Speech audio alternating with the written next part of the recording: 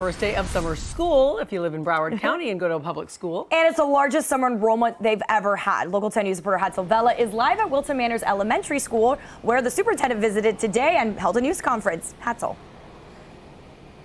So Janice, we caught up the, with the superintendent, Superintendent Robert Runcie. He's been visiting several schools throughout the county starting early this morning because he wanted to check on how schools are doing on this first day of summer school. Got to tell you, this is a six-week program and a, a very important program because of what we've seen in the past year. So far, about 45,000 students have registered. Typically, it's about 8,000 a year, so that gives you a sense of just the need that there is when it comes to what has become known as the COVID gap, which is the academic regress regression, I should say. The kids are suffering mainly because of online learning. Now, here in Broward County, about 60,000 were identified as falling behind back during the school year, and there's been an effort uh, to get as many of those kids back in the physical classroom. This is a continuation of that effort.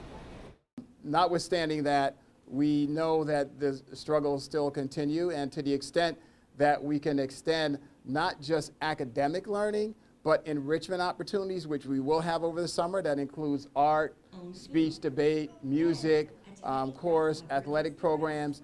Those are being introduced wherever we can provide them to make sure that that becomes part of their learning experience as well because we know when kids have those kind of activities, um, it helps them to also flourish academically. It gives them a reason and a purpose to also wake up and go to school um, each day with engagement and enthusiasm.